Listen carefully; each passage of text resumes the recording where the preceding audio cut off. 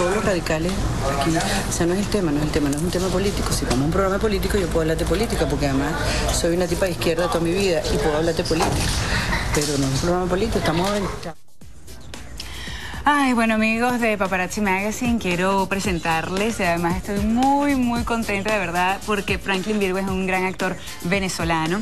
Y quiero para explicarte a ti y para recordar también con todas las personas que están viendo Paparazzi Magazine que eso justamente sucedió el viernes pasado cuando Mimi Lazo, una gran actriz también venezolana, pues se molestó cuando yo entre toda la entrevista le pregunté acerca de, bueno, los rumores que habían sobre su postura eh, con el gobierno venezolano, específicamente por supuesto Hugo Chávez y le hablé también, le pregunté acerca del cierre de Radio Caracas y que muchos eh, compañeros en ese momento de Radio Caracas Televisión, que estábamos de verdad sufriendo mucho, que estábamos viviendo momentos muy tristes, eh, sentimos que a lo mejor no estuvo con nosotros, que nos sentimos como solos y lamentablemente pues Mimi se molestó muchísimo, me dijo que cómo se me ocurría a mí eh, preguntarle eso.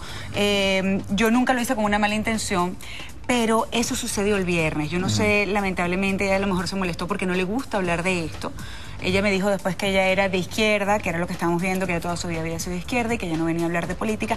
Pero lamentablemente como venezolano, Franklin, en algún momento todos como venezolanos nos hemos visto inmersos en este tema político. Y más allá de eso, yo no creo que haya ningún problema. Y además, el que no le debe no le teme en decir sencillamente tu postura política. ¿Qué piensas tú, Franklin? Bueno, este... Eh, este tipo de cosas cuando se toca y se habla de política y más cuando se trata del país, eh, duele, duele mucho, ¿no? Yo respeto las posiciones de cada quien. cada quien tiene su manera de expresar su malestar, ¿no?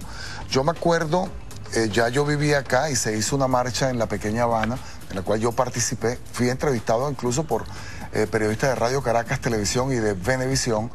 Posteriormente yo voy a, a Venezuela y participo en una telenovela en Venevisión en los días previos de la salida del aire de RCTV.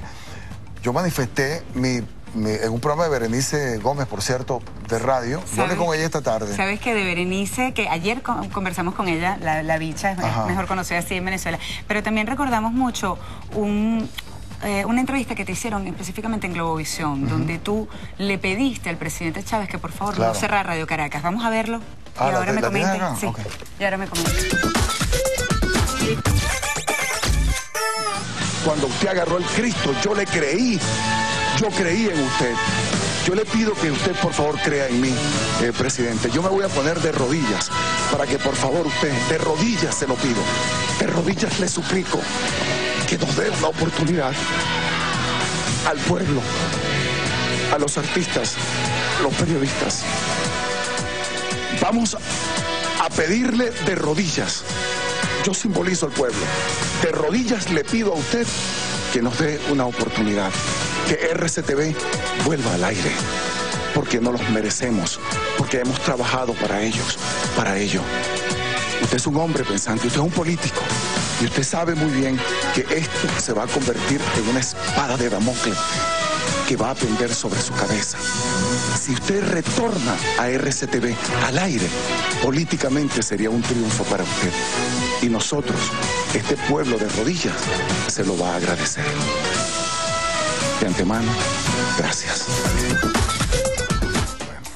Qué terrible, qué terrible Franklin que eh, no fue capaz de escuchar, no fue eh, capaz de escuchar a su pueblo y no fue capaz de escucharte a ti. no fue capaz de escuchar. No fue capaz de escuchar a... ¿Sabes que eh, eso me trajo a mí muchísimos problemas?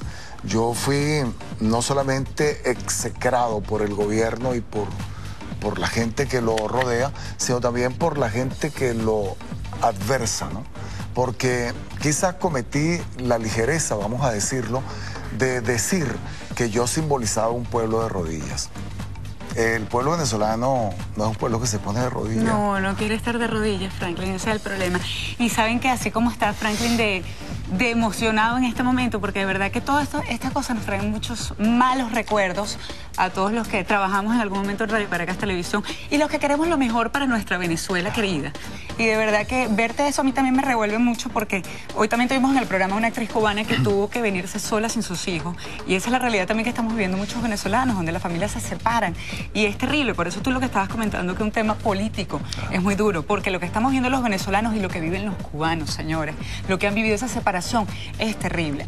Pero sabes que te agradezco muchísimo que estés aquí, porque ahora también vamos a aprovechar de, fíjate que lo, lo versátil que podemos ser también hay algo muy bonito que tú vienes a contarnos y es justamente algo que tenemos que tener no solamente los cubanos, los venezolanos, sino todos los latinos, esa unión y la amistad que tenemos que tener. la amistad que es, la obra que está justamente montando. Yo estoy eh, en, la calle 8, en la pequeña Habana, en el teatro, en el teatro 8 justamente. Estoy trabajando con Carlos Cruz, Marcos Casanova, con Juan David Ferrer y con Sonia Sharon, en una pieza de María Goss que se llama Amistad, en una, bajo la dirección de Marcos Casanova. Es una pieza justamente que habla de ese hecho tan importante en las interrelaciones de la amistad. ¿Tiene un precio la amistad? ¿Hasta dónde llegas tú por un amigo o por una amiga? ¿Qué tanto eh, aguantas? ¿Qué tanto aguantas? Entonces...